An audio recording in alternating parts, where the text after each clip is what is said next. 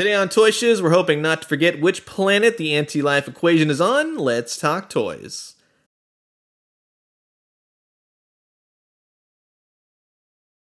Welcome back everyone, Toy Shiz here, and I am back yet again to give you guys another fresh look courtesy of my friends over at McFarlane Toys, and today we are totally checking out their brand new DC Multiverse Darkseid and Steppenwolf from the new Snyder Cut Justice League 2021 movie. Steppenwolf looking like he's Steppenwolf right out of the movie. And again, make no mistake, this is the 2021 Justice League. Just just so we're clear on that. But yeah, nice sculpt, nice design, nice box. These are huge boxes, by the way, not gonna lie. And on the back side, you get to see some photos, you get to see all the different Justice League figures in the wave.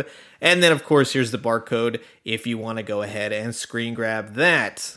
And here, of course, we have Darkseid looking all Darkseid-ish, right? The evil ruler of Apokolips, posed well in the box. I, li I like that, the outstretched hand. I wish he had something, maybe like the anti-life equation. Hopefully he can find it sometime soon. But Justice League, Darkseid, all that jazz. Same thing as Steppenwolf, but a really nice card art poster right there on the back. I like that. I like that scene from the movie, actually. And of course, like Steppenwolf, here is the barcode as well.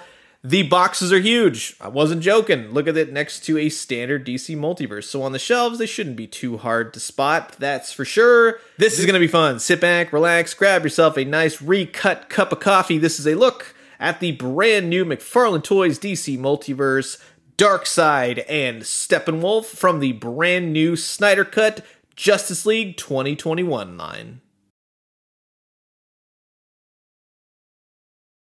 And here's both the figures out of their packaging. These are two big Mamma Jamma figures, that's for sure. Before we go any further, I'm going to tell you guys this. I saw the Snyder cut. I saw the Joss Whedon cut.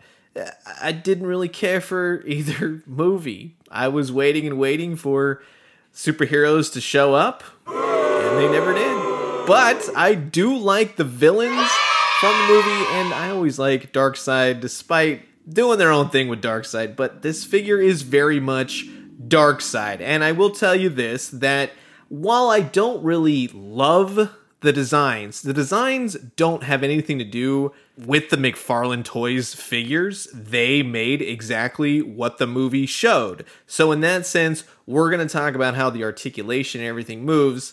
And while I may not care for like the giant Omega symbol that's buried in Darkseid's chest, it is what it is. So let's start off with Steppenwolf here, and we'll take off the stand. I would say both these figures do benefit from the stands, just FYI. But very nice sculpt. I think they captured the look of Steppenwolf perfectly. Steppenwolf has a very interesting design in the Snyder Cut version. And I mean, the fact that they were able to translate this so well, he's like a pincushion, by the way, like a rose bush. Just you try to pose him and you're going to end up like pricking your finger on one of the spikes on him. But the detail that they achieve, the wash, the very idea of what these characters look like translated to plastic bring out so many more details I didn't notice. Like seven fingers on Steppenwolf's hand.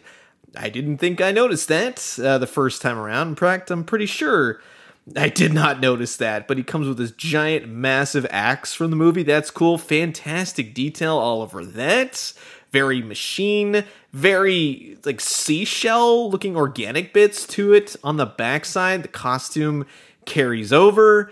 I mean, they went to town on this Steppenwolf figure. So again, while I may not like the designs of the characters, it does translate very well to action figure form. I'll tell you that all day. The articulation for a big figure works, I think. And in the arms, you're not going to get any butterfly joints, but you'll get a nice ball joint. It does kind of hinder right here on the shoulders, where you'll kind of have to drop it down a little bit or else it kind of gets stuck. It's all the design elements of the costume that hits. The head has enough rotation in it for my needs, left, right. Wish, well, I'll say this, I wish you could go up, just looking up a little bit better. But again, human pincushion right here on this guy. He actually does have bicep swivel. On mine, I had to heat it up but yeah, it was very stuck. But he does have bicep swivel. It just was not budging when I was doing it. You can kind of see the semblance of movement. In the single jointed elbows, just go easy. I had some resistance right there. The wrists are interesting. I don't think they're like most- the most attractive. I think they're more attractive than the ball joints that they use with most of their DC Multiverse figures. But as you can see, yeah, it's kind of wonky. He will spin at the wrists as well. So just go easy at first. It's a lot of the costume, I think, and some of the paint getting in there. But uh, yeah, once you kind of mess him a little bit, he does unfreeze, we'll just say. He goes back a lot. Front wise, again, kind of, sorta. Not as much as I would hope, but he does have that big piece right there. In the front, he will spin at the upper diaphragm and at the waist. He will kick out, do the splits. Nice articulation in the legs. He's got that loincloth, which doesn't hinder. It's like a soft plastic. Single jointed knees. He does have an ankle rock, up, down, left, right. And he has, this is really funny, individual toe rotation up and down. Again, I did not notice that while watching the movie. So seven fingers, the toes thing, the fact that he looks like Grumpy Cat, yeah, it's it's all there, and McFarlane captured it very nicely. Now to go over Darkseid staff, we'll start with that first. Again, much like Steppenwolf's weapon, very detailed, has the very movie design to it. You know, like the Marvel movies, the they go it's so design heavy, but it does translate well to plastic as does this Darkseid figure. Again, get some stands. It helps with the figures. But that's Darkseid right there, at least in the face. Now, I know a lot of us aren't really used to the whole shirtless Darkseid thing, and I'll be honest, I am not either. But in watching the movie and then watching that scene where he goes up against Earth in the primordial era and all of those, I mean, they captured the look of this guy. He does have a weird waist, but again, that's the design of the character. The head works really well on this up down left right you get some nice poses out of it. The right here this little chin strap thing tends to move up. Not that it's not glued down it's just a rubber piece. Be careful with it when you're moving him around it's just something that is.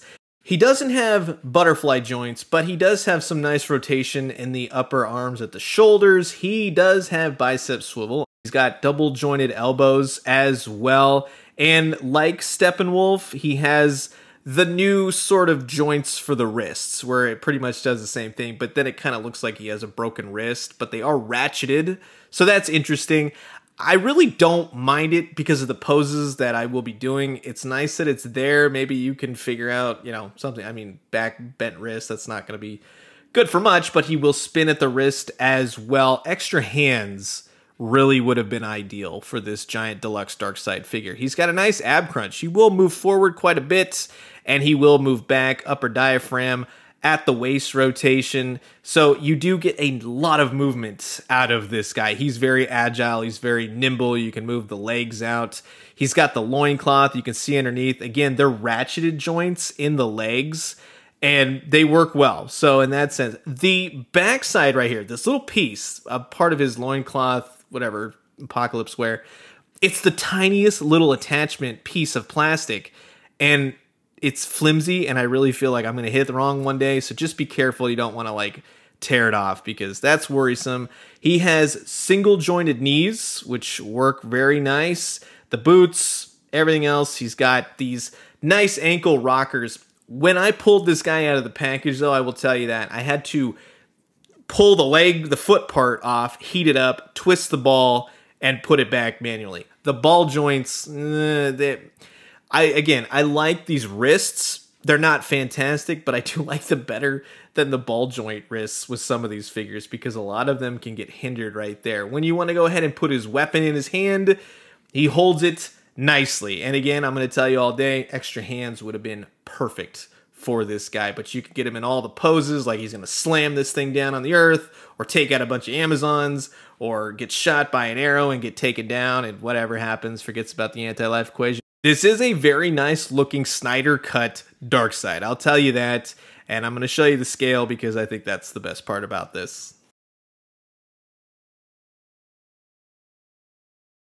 Scaling wise, I think that this is where these mega deluxe size figures really shine. And despite if you want to go more for the movies or for the comic books, personally, I really like this Darkseid for the comic book aspect. I think he fits both really well. He's more of the taller, we'll say rebirth sort of style for Darkseid, just mega, mega huge kind of thing. But he looks really good with all these other McFarlane Toys figures that have come out thus far. And just in the sense of other collectible figures or just bigger figures that are packaged, Darkseid and Steppenwolf are now officially the largest. Darkseid being taller, just a smidge taller than Steppenwolf. But Steppenwolf, I think, is more of the stretch because I'm so used to the Jack Kirby look for Steppenwolf. He does make for a good alien, I'll tell you that. He's a giant sized monster for the Justice League to battle.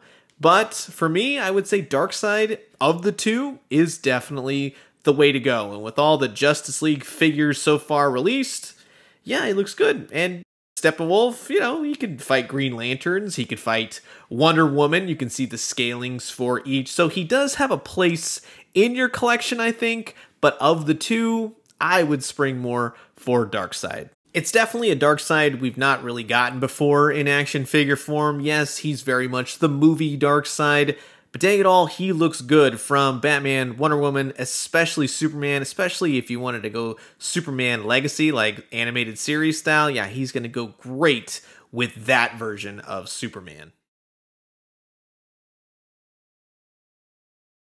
So to wrap things up nicely, I'll tell you this. These are two really nice looking figures. They did a great job really bringing home action figures that look like what you see. The big, huge, larger than life designs are in action figure form. Steppenwolf is impressive. He's a great looking toy.